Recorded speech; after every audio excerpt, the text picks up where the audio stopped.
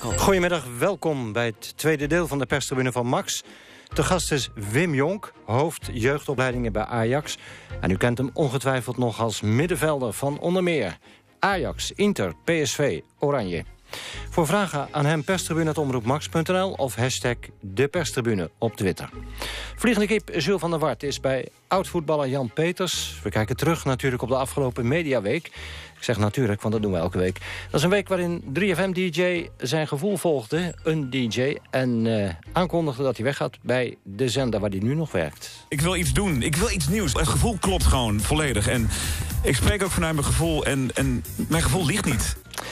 3FM-dj Gerard Ekdom. Praat zo met hem over zijn overstap naar Radio 2. Natuurlijk houden we op de hoogte van de voetbalwedstrijd... die aan de gang is in Zwolle tussen de lokale FC, PEC moet ik zeggen...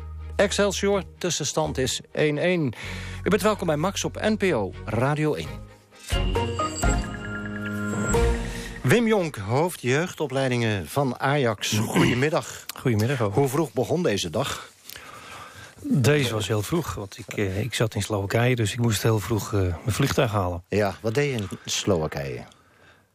Nou, was het tweeledig. Ik had daar een, uh, eigenlijk een soort werkbezoek vanuit de samenwerking... die we hebben met, met AS Trensin, met de, het team van Chola Ling. En vanuit mijn cursus had ik nog een buitenlandstage die ik moest afronden. Oh. Dus, dus waren twee vliegen in één klap. Want jij moet afstuderen coach betaald voetbal? Ja. Wanneer is dat? Weet je, heb je die datum al? Nou ja, we hebben natuurlijk al heel veel opdrachten door de jaren heen. Maar eind, eind mei zijn we ongeveer klaar. Dan ben je, en dan ben je hoofdcoach? ja, dan, dan ben je ja. papier hoofdcoach. Ja. ja, en dan? Wat gaat het hoofd jeugdopleidingen dan doen van Ajax? Nou, allereerst ben ik bezig om een goede opleiding neer te Ja, zetten. En uh, dat is mijn eerste focus.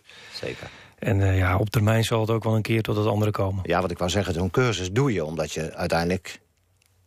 Nou, vul maar in, hoofdcoach. Ja, maar dat, dat, ik heb een paar keer heb ik de, de, mogelijkheid gehad om op die cursus in te, in te stromen. Dat heb ik toen een paar keer niet gedaan, omdat het toen op dat moment niet paste. Binnen, nee. binnen de werkzaamheden die ik toen deed.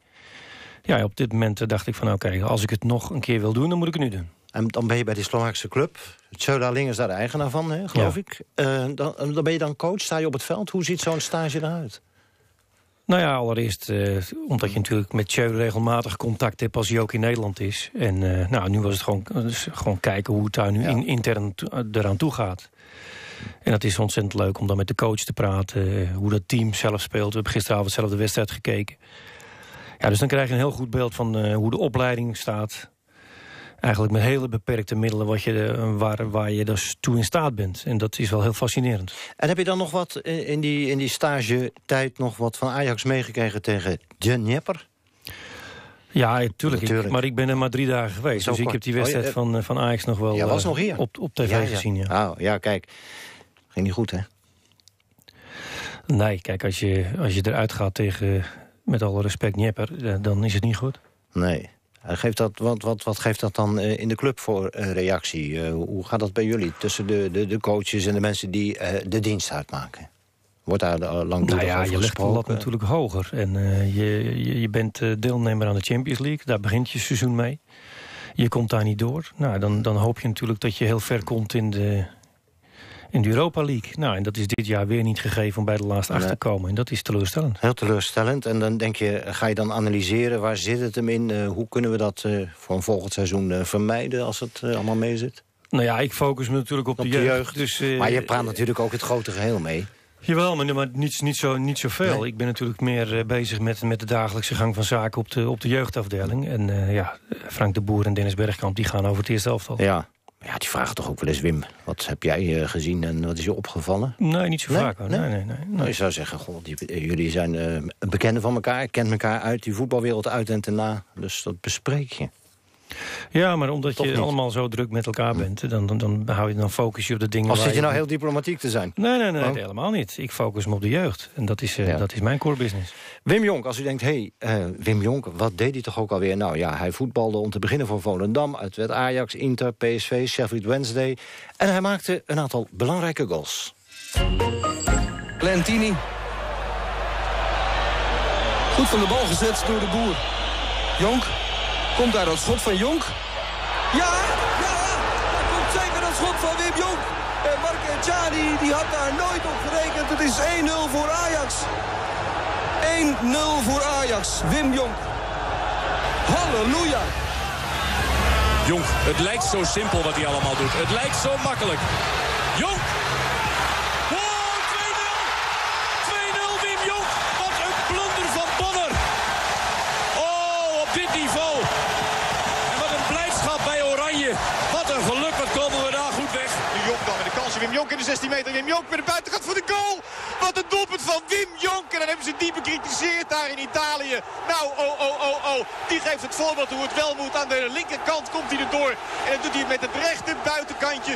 Zo goongemerkelijk. Ieder ander zou hem tegen de keeper hebben geschoten. Of met links geprobeerd hebben in te schieten. Dan zou de bal in het zijnet zijn gegaan.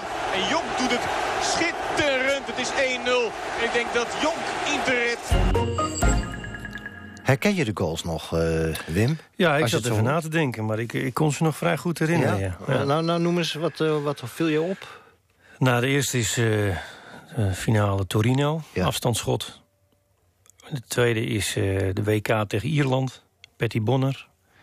En de derde is de finale bij Inter tegen Salzburg. Ja, klopt. Alle, alles goed. Ja. ja. Zijn die goals zo indrukwekkend, blijkbaar op zo'n moment... dat ze op je netvlies blijven staan?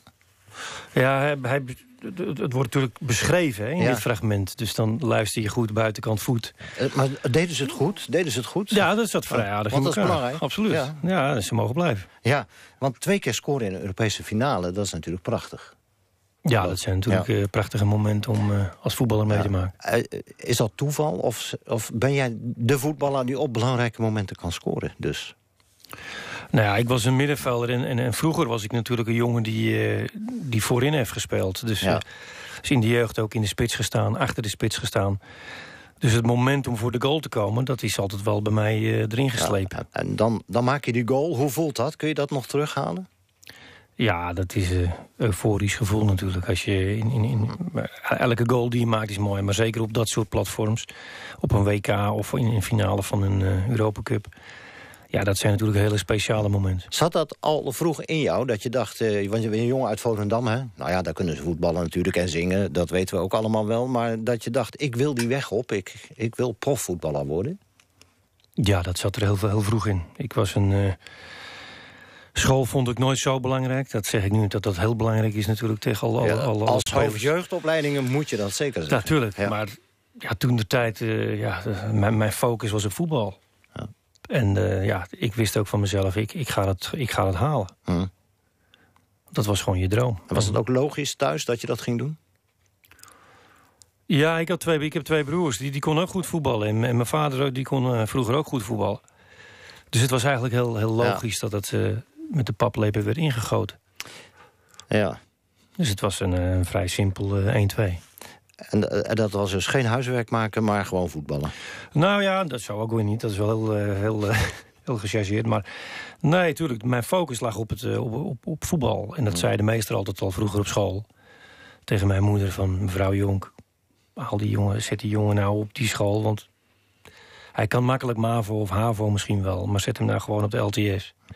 Hij moet iets met zijn handen doen. Of, of hij moet in de techniek. Want hij is meer bezig met de bal. Ja, is dan lastig leren als je dan later... Nou ja, Jaap Stam heeft aangegeven dat hij dat lastig vond. Hè? Die coachcursus betaald voetbal. Omdat hij zei, ja, dan zit ik in de schoolbank. Nou ja, je geeft dan aan, ik was ik, liever op het voetbalveld dan in de schoolbank. Ja, maar ik, ik heb me daarna natuurlijk wel ontzettend... moet je dat eh, inhalen? Bijgespijkerd. Ja. En, uh, ja, en ik ben ook wel altijd heel geïnteresseerd in bepaalde zaken. Dus, dus je gaat zelf wel ontdekken... Van, Voor jou geen opgave dus? Nou, het is wel een opgave, omdat hm. de cursus vraagt ontzettend veel van je. En, en uh, zeker bij je, de, de, de, baan die je hebt is het een enorme opgave. Maar ook wel ontzettend leuk. Want je hebt met allerlei collega's te maken. Oudspelers, trainers die al jaren in het vak zitten. Ja, dan is het gewoon leuk om, uh, om daarmee samen te werken. Aan welke trainer bewaar jij de beste herinnering? De beste? Ik heb natuurlijk legio-trainers gehad. En, uh, en, van, van, van elke trainer pak je wel iets. Hè? Dus of het nou advocaat was, of Hiddink, of Van Gaal, of, of, of hm. Beenakker. Uh, ja, je, hebt er, je hebt er genoeg gehad die je natuurlijk van elke trainer heb je wel dingen dat je denkt van nou, dat, dat neem ik mee en dat vind ik interessant. Om, ik schreef ook veel dingen op. Als, ik een, als, ik een, als we een vorm hadden dat ik dacht van hé, hey, dit vind ik interessant, dan schreef ik die vorm op. Dus ik, dat, dat, dat, vond, vond, ik gewoon leuk. Dat zat toen al in me. Ik heb toen ook al vrij snel uh, bepaalde trainerscursussen gedaan... tot ik, als, tot ik speler was. Dus het heeft me altijd wel geboeid. Ja. En aan welke trainer bewaar je slechte herinneringen? Ja, Ik ben ook teleurgesteld. ja, er zijn, ja, nou ja de, de trainers waar je, die, die weinig inhoud aan, je, aan, aan, je, aan jouw spel konden geven. Dus, dus, dus ja, waar het meer aan Durf je namen te noemen? Jazeker, ik heb, ik heb in Engeland ook wel eh, Danny Wilson, vond ik best een aardige, aardige man, maar was geen goede trainer.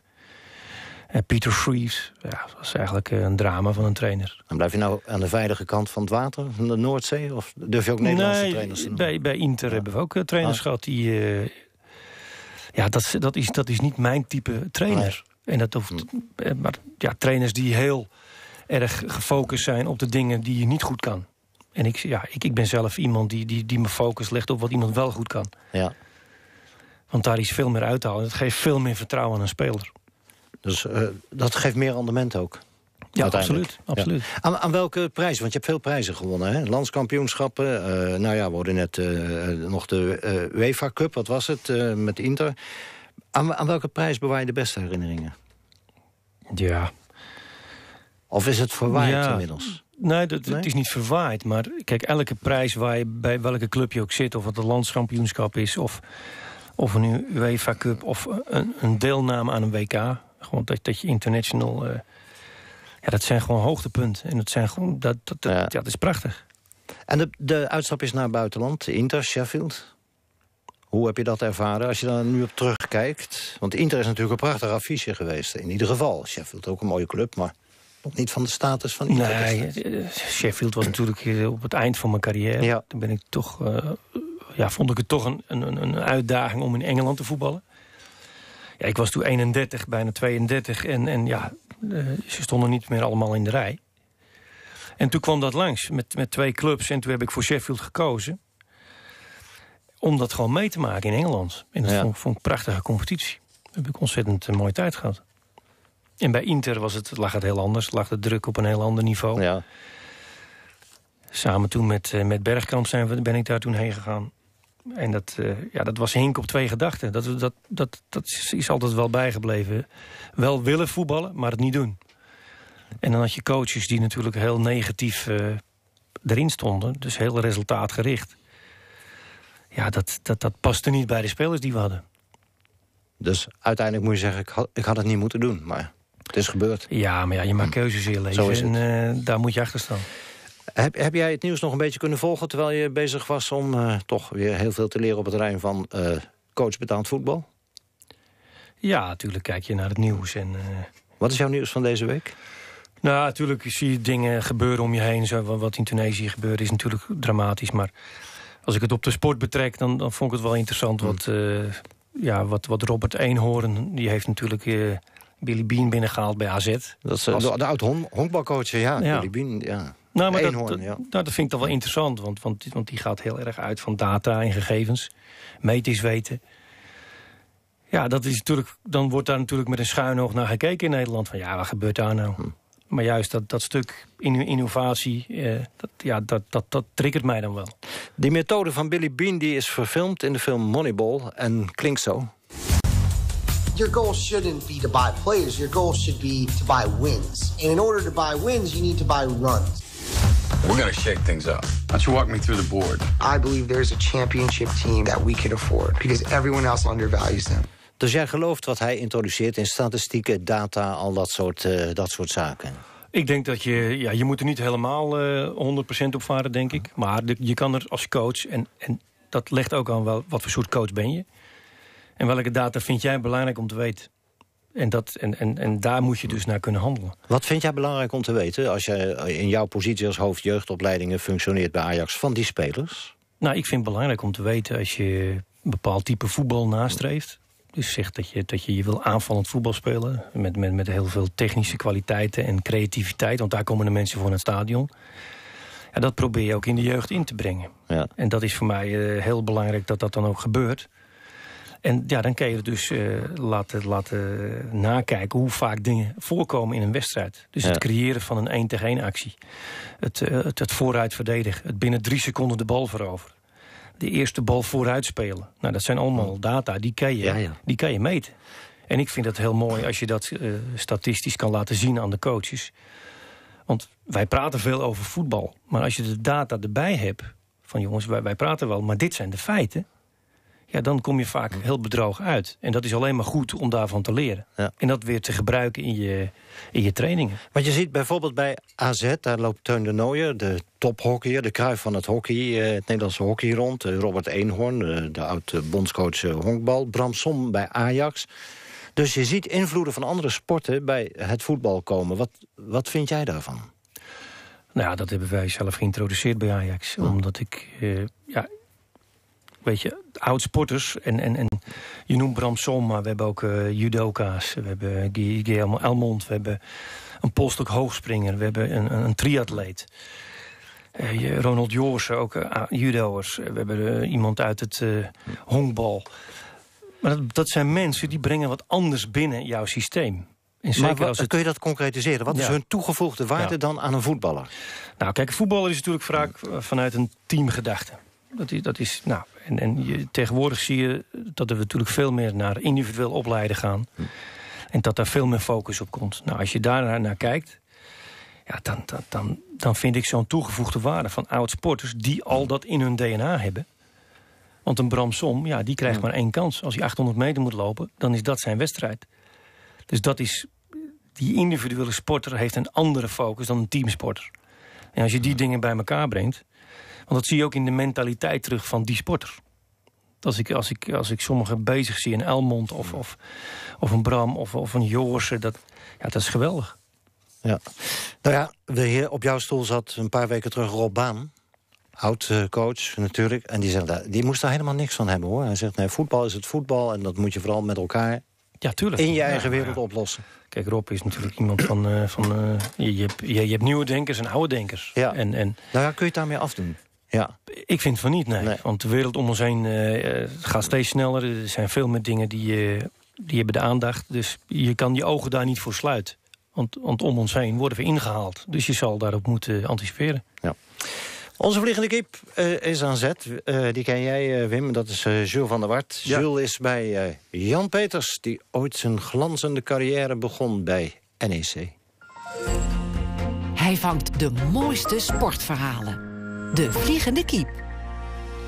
Ja, eh, ik ben nog steeds in Groesbeek eh, bij de Treffers. We zitten even in een kamertje waar het rustig is. Want vanmiddag eh, wordt er ge- gevoetbald. En ik ben nog steeds bij Jan Peters. ja, trainer geweest, manager. En Jan, wat doe je tegenwoordig bij de Treffers? Nou, ik eh, zit in de technische commissie en ik eh, doe wel scoutingswerk. Eh, wij zijn met een groep van zes mensen die eigenlijk de cultuur binnen de club bewaken. En dan ieder jaar proberen in samenwerking met de trainers om weer een goed elftal te krijgen voor het komende seizoen. Zou je nog trainer willen zijn? Nee, ik, ik heb voor zeven, acht jaar terug heb ik gezegd, ik kapte mee van... eh, ja, de mentaliteit vaak, vond ik, die is toch eh, vaak vet te zoeken. Als trainer ben je de dag en nacht mee bezig. En eh, ik heb geluk gehad dat ik altijd een goede ploeg heb mogen trainen. En dat Treffers altijd in de top van de toenmalige hoofdklasse gespeeld heeft. Maar ik, ik vond het welletjes. Ik wil niet als een oude kerel daarbij lopen. Je moet wel bepaalde invloed hebben. Achilles speelt nu wel eh, in betaald voetbal. Dat had ik van de Treffers ook verwacht. Was dat gebeurd? Was je dan misschien nog wel trainer geweest daar? Had je dat een leukere uitdaging gevonden? Nee, dan was ik ook geen trainer geweest. Maar goed, eh, ik, ik denk dat het altijd een leuke uitdaging is geweest. Als ik, ik, ik had graag die kans gehad eh, voor twintig jaar terug eh, in betaald voetbal. Ik ben assistent geweest bij Top Os. En ja, daar trainde ik toen de tweede en assistent. Maar ja, in die tijd overleed mijn vrouw. En ja, toen heb ik drie jaar een stapje terug moeten doen. En daarna heb ik nooit meer de kans gekregen. Ik, ik had wel graag in, in betaald voetbal willen werken. Dat is niet gelukt. Wat doe je nu? Ik, doe, eh, ik ben huisman en eh, ik doe een beetje eh, genieten van het leven. En wat ik al zeg, ik, ik, ik zie veel wedstrijden en dat is het zo'n beetje. De reden dat we hier zitten is NEC. Ja, dat speelt over ja, een kleine twee weken tegen Sparta. Je hebt een hele mooie tijd daar beleefd. En ehm, ja, als mensen zeggen een NEC, kampioenschap vier- 40 jaar geleden... daar was jij bij volgens mij. Dat klopt, wij werden kampioen in, in het jaar, eh, ja, dat is 40 jaar geleden... met Pieter Visser bij Volendam. Alleen was het toen een stuk spannender. Omdat eh, NEC in Groningen de laatste wedstrijd gelijk, met het gelijk aantal punten ingingen... met een eh, iets beter doelgemiddelde van NEC. En wij moesten naar Volendam, die in de top speelde. En het toenmalige Groningen moest naar FC Amersfoort. Dat bestond toen ook nog. Oude HVC. AFC. En die stonden onderaan. En wij speelden daar met veel pijn en moeite 1-1. Dus we waren afhankelijk van de wedstrijd Groningen-Amersfoort. En dat bleef 0-0.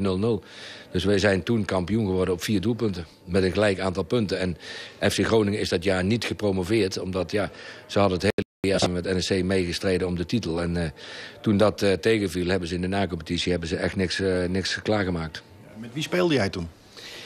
Ja, met wie speelde Jan Hogendoorn, uh, Eus Marijnis, Jaapie van den Berg, Kees Cornelis, uh, Piet Kams. Uh, we hebben laatst nog een keer een reunie gehad. met Pieter Visser was onze, onze trainer, Seijen Vissers. ja, dat was een geweldige tijd. En wij hadden toen ook, wij waren dat jaar ervoor ook gedegradeerd op een zeer dubieuze wijze. Dat drie clubs, dat was Roda, NEC en NAC, die stonden eigenlijk gelijk.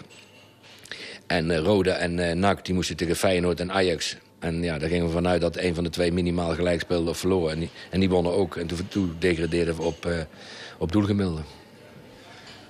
Toen ook kampioenschaaltjes en, en gekkigheid in de stad? Nou, het, het, was wel een gekkenhuis, maar niet zoals dat nu is. Kijk, de, de, de commercie speelt er nu natuurlijk in. Maar toen wij toen in Nijmegen gehuldigd werden... ja, toen waren er ook wel enkele tienduizenden mensen. Want wat ik zeg, NEC, dat leeft enorm in Nijmegen. Ze zijn heel kritisch, maar als het ook even meezet... zijn ze de meest positieve supporters die er zijn. Eigenlijk heeft NRC misschien een iets grotere achterban dan Vitesse nog? Jullie tegenhangen? Ja, ik denk het wel. Ik denk als NEC uh, hetzelfde voetbal uh, gaat spelen als wat Vitesse nu doet... Uh, dan denk ik dat NEC rustig het stadion drie keer kan verdubbelen. Dat er zo, sowieso 30, 40.000 mensen zitten kijken. In de studio zit Wim Jonk. En die is nu technisch opleider, hoofdopleidingen bij Ajax. zou jij hem nog een advies kunnen geven? Nee, Wim heeft zelf een geweldige carrière gehad. Uh, maar ik denk dat hij ook uh, te maken heeft met... Misschien soms de problemen wat ik aangeef... waarom ik geen trainer ben, met, de mentaliteit van de jeugd. Willen ze er alles voor opzij zetten? zijn ze leergierig? worden ze niet te snel de verwende jongetjes met grote salarissen? Dus ik, ik, denk niet dat hij advies nodig heeft. Ik, ik, wens hem wel veel succes. Want ik vind dat Ajax op dit moment ja, toch wel danig aan het terugzakken is. Zou ik niet leuk vinden om te horen? Nee, maar de realiteit is zo. Uh, er loopt wel wat kwaliteit op. Maar als ik uh, afgelopen donderdag weer zie uh, in de, tegen die mensen uit de Oekraïne... Ja, dan, dan moet Ajax overheen lopen. En dan word je toch weer uitgeschakeld. Nou ja, we gaan luisteren wat, wat Wim ervan vindt. bedankt voor dit gesprek, Jan Peters. Graag gedaan. Jules van der Wart in gesprek met Jan Peters. Jan heeft de zeggingskracht, want hij is ook een, een topsporter geweest in Nederland, topvoetballer. Wat is hier op uw reactie, Wim Jonk? Wat hij zegt. Nou, we hadden het er straks al een beetje over. Hè? Jan is natuurlijk ook iemand die uh, uh, gevoel heeft bij uh, de, nieuwe, de nieuwe wereld. En, en, en, en, daar kan hij, slecht, kan hij slecht mee omgaan. De mentaliteitsverandering die er natuurlijk is. Ja, en daar, daar moet je wel op inspelen. Ja, motivatie. En, je, en daar moet je wel tegen kunnen. Want als je daarin blijft hangen, zoals het vroeger was... en vroeger was alles beter... ja, dan, heb je, dan kom je er niet. Nee. Dus je zal, uh, je zal die jongens moeten, moeten helpen. Ja. En die talenten moeten hervormen, of hervormen. Gewoon een bepaalde bewustzijn erop te krijgen. Ja. Bewustwording. Dat ze als een, als een echte topsporter gaan leven. Jouw eigen zoon is een tennistalent, hè? Ja, dat, ja, dat ja. maar die had motivatieproblemen. Hoe lost de vader dat op? Als hij daar al uh, überhaupt invloed op heeft. Ja, dat is een hele goede. Want, ja. kijk, voor mij was het heel moeilijk, want ik ben de vader. Ja. En als vader wil je natuurlijk het beste voor je zoon. Maar ik moet hem dat niet aanreiken. Ik kan hem alleen ondersteunen en, en, en, en, houden en helpen. En, en, maar voor de rest moet hij het toch zelf doen. Ja. En op een gegeven moment eh, ja, kom je op een bepaald punt... dat de stapjes die je maakt omhoog, die worden steeds kleiner. En dat is wel wat je als sporter moet blijven zien. Kijk, in het begin gaat het heel snel, want je, je bent een talent, je groeit en je knalt door. Maar dan die laatste twee, drie stappen, dat maken wij ook mee met spelers bij Ajax. Dat zijn de moeilijkst. En hoe hou je dan toch de motivatie erin? Of hoe krijg je hem terug? Nou, ik denk dat dat gewoon heel veel met communiceren te maken heeft. En, en zeker in deze, deze periodes. Heel veel is visueel ingesteld, heel veel kinderen. Dus ja, daar moet je, daar moet je op inspelen. Dus de kinderen vragen ontzettend veel aandacht. En dat is, eh, daar, daar, daar moet je iets mee. En dat stuk bewustwording, dat, dat, ja, dat, is, ja. Uh, dat is cruciaal. En gaat het nu weer goed met hem? Heeft hij die motivatie terug? Nou, ik zie dat, hij, weer, ik zie dat hij zijn record weer pakt. En uh, oh. ik, ik heb daar geen invloed op gehad. Nee. Dus, maar ik zie nu de laatste tijd dat hij toch weer honger krijgt. En dat hij toch weer denkt van... goh, ik, ik, ik, ik ben het ik krijg spijt. Ja. Had jij een voorbeeld in de tenniswereld? Vond jij daar iemand uitspringen? Uh, naar wie je graag keek? Of, ja. ja. Wie dan? Ja, ik was, ik was gek van McEnroe. Ja, waarom? Was ja, een lastige jongen natuurlijk. Ja, die, die, dus zijn gedrag een beetje gek Ja, zijn gedrag was natuurlijk heel, heel slecht op de baan. Ja. Maar wat hij liet zien met een racket... en, en alles op techniek en, en, en, en vaardigheid... ja, dat vond ik fenomenaal. Ja. toen kon ik gewoon... Uh, ik nam vroeger ook alles op. Ik vond dat mooi. Ja? Alles nam ik op op die, op die videobanden. Misschien moet je wel... Jij lacht erbij, uh, terecht, maar misschien moet je wel een beetje gek zijn... om zo ver uh, ja. je genie te kunnen ontplooien. Hè? Je talent ja. en je kunnen. Ja. Nou, maar ik, ik was zelf als voetballer... keek ik ook naar voetballers, want ik, ik ging voetballen. Wie was jouw voorbeeld als voetballer? Ja, ik had uh, Platini en Glenn Hoddle. Dat waren voor mij, en Cruijff. Dat waren voor mij de mensen waarvan ik denk van... hé, hey, die, die zien altijd meer dan de rest. En waarom is dat nou? nou en ben je erachter gekomen? Nou ja, dan ga je analyseren. in hun hoofd, hè? In hun hersenen natuurlijk. Ja, ja ze, ze, ze, denken gewoon sneller dan de rest. De regie wordt een beetje onrustig, zie ik, uh, Wim. Dat komt omdat Ragnar bij uh, Zwolle natuurlijk de tweede helft uh, gaat volgen. De wedstrijd tegen Excelsior met die goals, Ragnar. Ja, mooie goal. Die bananenbal, die gelijkmaker ja. van Stans. Papa Niemeyer zei altijd, zal ik de bananenbal nog een keer doen? En dan zei ik, ja papa, doen. Dat is zo'n zo doelpunt. Heerlijke treffer, de gelijkmaker. Maar Zwolle bepaalt wel de maat in deze wedstrijd. Lukoki aan de rechterkant, hebben hem al een keer gezien. Met een uh, gevaarlijke voorzet. Zoekt het duel nu op met uh, Kuipers. Uh, wacht wat Lukoki. Dan gaat hij naar de achterlijn. Redt hij dat nog? Voorzet? Nou, toch het been van de verdediger. En vervolgens Bruins die de bal naar voren toe trapt. Van Weert gaat naar de grond. Wat makkelijk in een duel met Van der Werf. Maar goed, die moppert verder niet. Dus er zal een tikje zijn uitgedeeld door die centrale verdediger van Pek Zwolle. Nog net voor de middenlijn. Excelsior neemt die vrije trap met uh, Bruins. En dan is het de Stans. Een meter of 4-5 over de middenlijn. Linkerkant van het veld. Zwolle goed begonnen in die tweede helft weer. Met een kopbal van Nijland. Want hij is in de ploeg gekomen voor de rust al. Omdat Thomas door Bovenberg uit de wedstrijd was getikt. Na een ja, gemeende trap toch eigenlijk wel onnodig op de knie. En Thomas eruit, Nijland erin. En we hebben hem dus gezien met een schotje aan het einde van de eerste helft. En een gevaarlijke kopbal, maar die bal ging voorlangs. Daar had misschien wel de 2-1 ingezeten van uh, Zwolle. Nu eventjes Excelsior. Excelsior met uh, Karami overigens in de tweede helft voor Bovenberg. Die niet goed speelde. Heel even kijken wat hier gebeurt als Fischer nu doorkomt. En de punt van het strafschopgebied vindt. Stans gaat dribbelen en dan Botaka. Is van Michem. Sorry. Aan de linkerkant. Niet gevonden. En dan is het de doelman van Pek Zwolle. Het blijft tegelijk. 1-1 na 53 minuten. Tot twee uur de perstribune. Het is weer een mooie zondag, want de lente is begonnen... en Milaan Sanremo wordt verreden. Oud-wielrenner Karsten Kroon, goedemiddag Karsten. Goedemiddag. Hoe voelt dat er niet bij te zijn vandaag? Uh, ja, goed, prima. Ja? Ja. Want je bent echt mee gestopt. Jij winnaar van de Waalse Pijl 2006, Amsterdam Gold 2009. Hoe kom je zo'n uh, zo'n wielerloze tijd dan uh, door als je gestopt bent? Wat doe je dan? Um, uh, ja, ik, ik ben, laten we dat even vooropstellen. Ik ben, ben, heel blij dat ik niet meer, dat ik niet meer fiets. Ik ben 16 jaar beroepsrenner geweest. Ja. Ik ben nu 39. En ik was, was er echt klaar mee, dus... Nu, uh, ja, nu fiets ik niet meer en nu doe ik, doe ik andere dingen. Wat doe je bijvoorbeeld? Uh, sinds kort werk ik als, uh, als commentator bij Eurosport voor wielenwedstrijden. Mm -hmm. um, maar dat is voor maximaal 80 dagen per jaar. En voor de rest ja, ben, ik, ben ik gewoon een beetje op ja. adem aan het komen, aan het relaxen. Want aan het bijkomen, ja. Het zijn tropenjaren geweest de afgelopen 20 jaar. Ja, ben je vanmiddag te horen bij Eurosport, bij Milaan Sanremo? Nee, nee. nee. U gaat wel kijken, neem ik aan. Uh, ja, ik, uh, ik, ik ben gecharterd om uh, bij een uh, bijeenkomst van een, een, een coöperatie hier in Maastricht, die, waar mijn vrouw bij betrokken is. En dat, dat is een coöperatie die biologische groenten gaat verbouwen.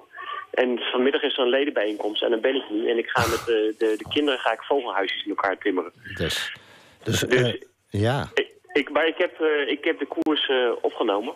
En ik ga, um, ik ga real live kijken. Ik ga vanavond de koers kijken. Oh, dus je ziet vanavond de Poggio pas? Juist, ja. ja. Nou ja, dat, weet je, dat, is het, dat is het voordeel van de oud-wielrenner. Die kan het op zijn gemak hier aan, uh, aan. Blijf jij wel in de wielrennerij bezig... behalve dat je commentator bent voor 80 dagen bij Eurosport? Um, nou, ik, denk het, uh, ik denk het niet. Dus uh, in ieder geval, op het moment zou ik niet... rechtstreeks bij de wielersport betrokken willen zijn. dus zeg maar bijvoorbeeld als, als, als ploegleider of als trainer. dat, dat zie ik eigenlijk niet zitten op het moment. Nee. Nou, dan wens ik je vandaag veel plezier, Karsten, met het, het in elkaar timmeren van... Ja, ik bedoel niet in elkaar timmeren van vogelhuisjes, maar het maken van vogelhuisjes. Ja, oké, okay, dankjewel. dankjewel en een mooie zondag, hè? En wie gaat er winnen, denk jij? Wie wordt het vandaag uh, na de Porto? Uh, slecht weer. Ik zeg uh, Cancellara. Alweer Cancellara, ja. Die Zwitserse machine. Ben jij een liefhebber? Dankjewel, Karsten. Oké. Okay. Ben jij een liefhebber, Wim, Wim Jong, van wielrennen? Andere sporten misschien? Ja, behalve tennis, waar je net al ja, zei. Ja, ik ben meer gefocust op tennis of golf. Vind ik, vind, ja? vind, vind ik ontzettend leuk. Maar je blijft niet thuis voor... Ja, je gaat naar Ajax straks natuurlijk. Ik ga naar Ajax, ja. Ajax-ADO. Mogen de beste winnen. Ik ben ADO-fan. Erg, hè? Erg. Kom uit Den Haag. Ja, ja, maar ADO is toch een club met potentie. Dus, Zeker. Uh, Zou ze erin blijven, denk jij? Ja, toch wel, hè? Ik denk dat ADO er wel in blijft. Ja, mag toch hopen. Ja. Goed, uh, Wim, er is een brief binnengekomen voor jou van een oude bekende. Stop, oh yes, wait a minute, Mr. Postman. Wait, wait, Mr. Postman. Post voor de perstribune.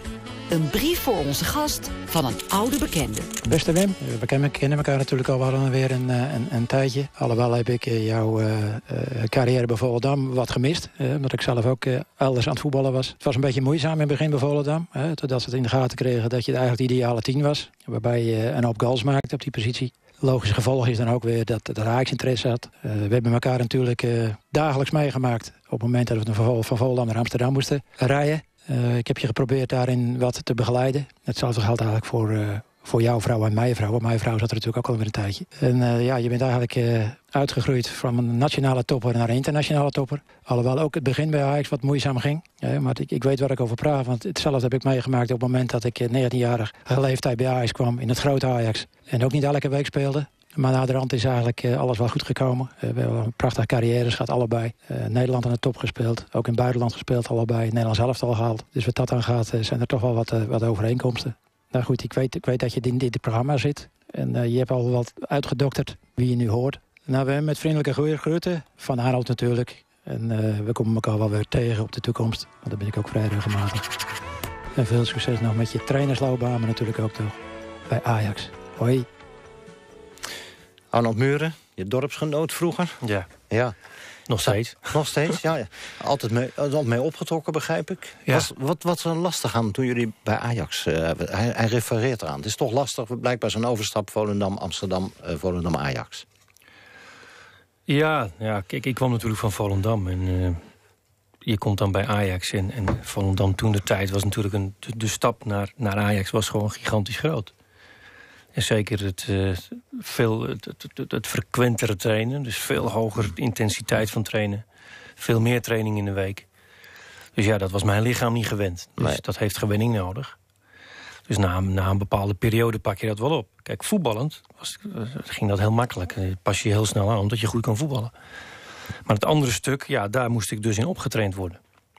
En dat is toen ook ja. langzaam gebeurd. En ik begrijp van Arnold dat de vrouwen van de spelers ook, ook, een, ook een soort uh, ja, nou ja, inburgeringscursus moeten volgen. Nou, maar het is natuurlijk leuk als je, als je elkaar kent. Mm. En, uh, en mijn vrouw kon, kon aan onze vrouw natuurlijk ook. Dus dan is het logisch dat je elkaar ja, een beetje opzoekt. Helpen, helpen natuurlijk. En dat, is, dat was hartstikke leuk met Arnold ja. ook. Ja, daar krijg je dus een band mee. Je hebt ook een band gekregen blijkbaar in de loop van jouw carrière... en nu weer met Dennis Bergkamp. Mm -hmm. Hoe ontstaat dat? nou ja, gaat dat gewoon vanzelf, symbiotisch? Of is dat, is dat iets wat, wat groeit in de loop van de tijd? Ja, maar dat, dat was, dat was met, heb je met heel veel spelers gehad, maar ook met Dennis. Maar ook met, met, met Ronaldo later bij PSV. Of met Luc Niels. Ja, dat, dat is iets wat je, wat je creëert. En dat is een, een, een, een, een omdat, je, omdat ik een, een, een snelle denker was, vooruit dacht. En hij dacht ook vooruit. Nou, en dat soort types... Dat trekt je aan natuurlijk. Dus dat, dat, dat trekt ja. naar elkaar toe. Van op het moment dat ik open, open draaide... Ja, dan was of Niels of, of Ronaldo of Bergkamp, die, die wisten dat. En die reageren daarop. Ja. Nou, dat, is, dat is ook wat je, wat, je, wat, je, wat je graag ziet van spelers, dat er chemie ontstaat. Nee. En hoe vond jouw vrouw het dat je naar Italië ging? En zij mee moest, naar Engeland, mee mocht? En mijn vrouw vond het geweldig. Ja? Ja. Heeft ze van genoten ook, van dat soort uh, nou, maar dat uitstappers? Was, ja, ik denk, ja, absoluut. Maar ja. ze heeft het natuurlijk uh, in het begin best wel moeilijk. Omdat je, ja, je gaat naar, naar een land en... en dus je, je hebt daar ook je aanpassing nodig. Je bent, uh, je bent jong en ja, Dus dat, dat, dat vergt ook weer uh, tijd en, en, en, en ja, kennis opdoen. Wat heb je een heerlijk leven nu eigenlijk, hè? Gewoon dagelijks Volendam, Ajax en weer terug. Heel overzichtelijk. Nou, maar dat is, dat ja, het is in, in, ja, ingespannen misschien. Het is niet een dagje, dat is niet even 20 uur in de week. Het is nee. 80 uur in de week werk. Is dat zoveel, ja? Ja, dat, de hoofdopleidingen zijn. Is, en ik sta dagelijks ook op het veld. Ja, dat, dat vergt gewoon ontzettend veel. En dat is een, is een helft job. In de perstribune kijken we altijd uh, vooruit op de komende week. En nog even achterom naar de afgelopen zeven dagen. Het was me het weekje wel, zeg. Een blik achter de schermen van Media Week 12. In week 12 maakten de dames van K3 bekend dat ze stoppen... maar dat K3 doorgaat. Het was de laatste aflevering van Blik op de Weg te zien. Het was ook de week dat 3FM-dj Gerard Ekdom bekend maakte... dat hij na de zomer naar Radio 2 vertrekt. Ik had nog jaren door kunnen gaan op 3FM... maar het barst hier momenteel van het jonge talent... en die verdienen, wat mij betreft, een kans. Ik heb die kans ook ooit gekregen. Ik heb alles uh, volgens mij gedaan op 3FM. Ik heb acht glazen huizen, negen jaar arbeidsvitamine... vijf jaar even Ekdom, acht jaar Ekdom in de nacht. Mijn gevoel en mijn verstand zegt... het is tijd voor een nieuw hoofdstuk. En die ga ik aan op Radio 2. Een station dat net als 3FM een beetje gaat verjongen. En ik ga de ochtend doen. Gerard Ekdom, goedemiddag Gerard. Ja, goedemiddag. Hoe lang werk je al bij de omroep als ik al die jaren hoor? Ja, een jaartje of, uh, nou ja, ik zei 17. Dus het was uh, 98 toen ik daar binnen kwam wandelen. En dat is, uh, een, ja, dat, dit, dit jaar wordt dat 17 jaar. Van Avro Tros naar BNN-Vara. Dat is een overstap, zal ik zeggen. Nou, qua omroep valt het nog wel mee. Het is meer de, de stap naar een andere zender, mm. uiteraard. Maar ja, de omroep, ja, ik, ik denk, ik, ik pak het aan. Ik ga het ik ga alles, ik ga ook van omroep switchen. Ik ga alles anders doen. Hoe is dit op jouw pad gekomen? Ja, ja. Nou, het begon als een soort uh, uh, zaadje in mijn hoofd. Uh, dat werd geplant vorig jaar ergens. Toen ik, eens, ik, ging, ik ging gewoon eens nadenken, omdat ik dacht, ja, ik heb nog een jaar dan eigenlijk een contract. Wat ga, ik, wat ga ik hierna doen? Ga ik gewoon weer bijtekenen? Ga ik gewoon weer bij drie jaar, weer drie jaar 3FM doen? En ik, en ik ben, eens gaan, ik ben gewoon eens gaan, gaan, gaan nadenken, rondkijken. Toen dacht ik, ja, iedereen zit al best lang bij drie. We doen allemaal vrij lang hetzelfde. Dus, uh, of in ieder geval Giel deed tien jaar Giel, dat werd gevierd. Uh, Rap Radio tien jaar. En toen uh, kreeg Jure Bosman de, de functie van nou ja, zendermanager Radio 2. En ja, Zo gaat het, het. het hing een beetje in de lucht. Wil jij niet, ja, we willen misschien op den duur een nieuwe ochtendshow wil jij, wil jij eens nadenken? Ik zei, nou, dat is niks voor mij. Toen kwam ook en Vara met het voorstel, net op het moment dat ik uh, al wat verder was in mijn hoofd. En uh, toen dacht ik, ja, ik ga er toch eens over verder praten. Ja. En uh, ik kwam elke keer terug op een soort basisgedachte, ja, ik wil dit gaan doen. En toen ik na twee maanden nadenken nog steeds dat, dat die gedachte had, dacht ik, ja, voor mij uh, zegt mijn gevoel nu dat ik dit moet gaan doen. Ja, maar je verlaat Radio 3 op een moment dat de zender het toch niet al te makkelijk heeft. Koen uh, en Sander gaan weg. Jij gaat nu weg, dus het grootste deel van de middagprogrammering verdwijnt. De luisterdichtheid loopt uh, terug. Serious Request wordt niet meer bekeken en beluisterd als uh, voorheen. Nou, is, ja, dat, dat zijn de mee, cijfers. zijn de cijfers. Ja, nee, de, de cijfers zijn dat is altijd heel pessimistisch. Er hebben meer mensen dan ooit gekeken naar Serious Request. Daar hebben we een absoluut record geboekt. Dus eh, eh, het, het, is allemaal niet zo ernstig. Het, lijkt een soort neerwaartse spiraal ineens. Maar dat, eh, dat is allemaal niet zo. We hebben de, de cijfers in februari is alweer een stuk beter dan in januari. Maar als, als, het, eh, als het station in een soort negatief, negatieve vibe zit... dan lijkt het zo'n beetje alles wat dan komt negatief. Dat valt echt wel mee. Maar het is... Ja, ik snap dat, dat als ik nu ook nog roep dat ik ga... dat, dat mensen denken, ja, wat is er aan de hand bij die zender? Terwijl ik denk, ja, het is ook iets positiefs, weet je wel. Je kunt het ook gewoon zien als een, eh, een nieuwe kans eh, eh, voor nieuw talent. Tien jaar geleden gebeurde hetzelfde bij drie. Rob Stenders ging naar Jurre en Ruud de Wild ging naar 50 jaar, enzovoort, enzovoort. En toen hadden wij ook met z'n allen het gevoel van, oké, dit Oh is het. Wij ja. zijn het. En wij moeten de, de schouders onder het station zetten. En eh, we moeten het gaan, gaan maken. En dat is ons gelukt. Dus En als je daar Gerard, wie gaat, jou, wie gaat jou opvolgen zometeen op drie? Eh, dat weet ik nog niet. Dat weet ik nog niet. We Ja, zijn al bezig met een, een compleet nieuwe programmering. En eh, er zijn op dit moment allerlei gesprekken. Het is allemaal omroep politiek natuurlijk. Dus die Heb, omroep heb, jij, dat heb jij een suggestie? Heb jij een suggestie wie het zou moeten gaan doen? Tuurlijk, heb je over nagedacht. Suggestie. Als ze niet de middag gaan doen, tussen 4 en 7, dan, dan denk ik dat, dat Timo en Ramon het misschien wel heel leuk gaan doen tussen de middag. Maar dat weet ik niet zeker of ze dat willen. Ja. Zeg en hoe laat gaat jouw wekker straks als je de ochtend op 2 gaat doen? Oei, ja, daar moet ik Mhm. even niet aan denken. dat wordt waarschijnlijk een uurtje of half vijf, zoiets. Ja. Ik denk dat het half vijf een soort standaard uh, wektijd gaat worden. En dan uh, begint mijn dag net als mijn vader vroeger, uh, die naar de bloemenveiling moest naar meer. begint die bij mij op hetzelfde tijdstip. Ja. En blijft het voor jou radio of ga je net als wat je voorheen ook deed bij Avro Tros met top, op, op, top op 3 Fort televisie maken?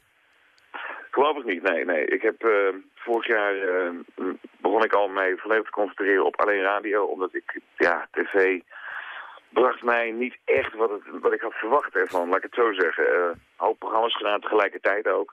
Uh, top op en uh, op een gegeven moment ook Join the Beat. En ik ging er bijna aan onderdoor, omdat de radio gewoon doordraaide. Ja. En toen dacht ik, ik ga eens een jaartje alleen maar radio maken. En toen ik dat deed, ja, toen werd ik weer ouderwet gelukkig. Dus ik concentreer mij voorlopig even lekker alleen op radio. Even de Misschien komt tv ook nog, ik sluit niks uit. Even de data, Gerard, wanneer laatste 3FM-uitzending? Ja, dat is nog een leuk verhaal. Dat weten we niet zeker. Um, ik denk eind juli. Uh, en ik kan het niet met zekerheid zeggen. Uh, begin ik uh, in ieder geval waarschijnlijk op maandag 5 oktober bij Radio 2. Mooi. Ik wens je daar heel veel plezier, heel veel succes. en nogmaals gefeliciteerd met je overstap. Dankjewel. Gerard Ekdom. Wim Jonk, Afval, ik moet even over drie jeugdspelers van Ajax. Je bent hoofdjeugdopleidingen die van, uh, van de week zijn opgepakt... omdat ze een agent in Burger zouden hebben mishandeld. Althans, één wordt daar in ieder geval voor vervolgd. Zij vallen onder jou. Wat dacht jij toen je dat hoorde? Ja, als je de eerste berichtgeving zag, dan, dan was dat schrikken. Ik schrok, ik denk, kan dat nou? Maar ik bleef wel rustig, want ik hou me ik, ik, denk, ik moet gewoon feiten weten. Want er werd, werd de berichtgeving die toen was. Ik denk, als dit het is, dan is het wel heel ernstig. Daarna werd dat wat genuanceerder. Ja, maar wordt er toch één vervolgd, hè? Er is er één vervolgd en uh, nou ja, dat, is, dat is al ernstig genoeg. Ja. En daar hebben we ook passende maatregelen op, uh, op getroffen. En ja, in afwachting ook van uh, de vervolgonderzoeken natuurlijk, ja. die, die gaan komen. Hij is geschorst hè, voor het hele seizoen. Komt niet meer in actie, meen ik. Ja. Ja. En die anderen zijn, geloof ik, een maandje geschorst. Ja. Overweeg je dan om zo'n jongen te ontslaan? Nou, we hebben natuurlijk wel over allerlei scenario's gesproken... met uh, alle betrokkenen, de hele directie bij elkaar. En, maar op basis van de feiten die we hmm. toen hadden... vonden wij dat, een, uh, vonden we dat niet nodig. Nee. En geef je mensen gewoon nog een... Maar hij vernietigt ook kapitaal natuurlijk, als je hem zou ontslaan. Dan gaat hij naar een andere Ja, club. maar dat, dat, daar is helemaal niet over gesproken. Nee? Kijk, er, er komt iets in de pers en... en, en en op basis van wat je in eerste instantie dacht... van ja, dat, dat, is, dat is kansloos. Als je iemand uit een auto sleurt en, en, en, en slaat... of iemand heeft uh, iemand verwond... Ja. ja. dat gaat alle perken erbuiten. Dus dat gedrag kan je nooit tolereren. Hm. Maar dat waren de feiten niet. Nee, goed, het is iets minder, maar het blijft, blijft ernstig uh, natuurlijk. Nou ja, en je hoort net Jan Peters zeggen... ja, die mentaliteit, ja, die heren rijden blijkbaar in een Mercedes. Nou ja, als je om je heen kijkt, zijn er natuurlijk heel veel voorvallen geweest, ook in het verleden. En toch gaan die jongens daarna weer naar andere clubs. En denk je, ja. Hoe kan dat nou? Ja. Maar we moeten ook hier toch proberen weer uh, van te leren. En dat, ik denk dat het het belangrijkste is. Ook hoe, moeilijk het ook is, kan het ook weer een, een, een kans zijn die, die je gebruikt. Want iedereen is daar... Uh, ja, is daar mee bezig Misschien geweest. hebben ze wel spijt, diepe spijt. Nee, dat hebben ze zeker. Want Ja. ik heb ze gez- gesproken, dat was echt... eh, dat zat heel diep. Dat is ook goed. Dat is ook goed. Ja, Dan weten ze wat ze gedaan Ze hebben. weten wat ze gedaan hebben. Wim, dankjewel dat je hier was. Veel Graag plezier. Mooie succes dadelijk met de afronden van de cursus Coach Betaald Voetbal. Zwolle Excelsior 1-1 bij Langs de Lijn. Goedemiddag. Dat eh, ging heel even mis. Uit het rijke blooperarchief van de Nederlandse radio. En dan het weer. Morgen is het ander weer dan vandaag. Het kan af en toe regenen. Het blijft wel droog. De temperatuur eh, komt morgenmiddag uit op een graad of 7. De verkeersinformatie. Ja, mooi gedaan, Gert. De perstribune. Een programma van Max.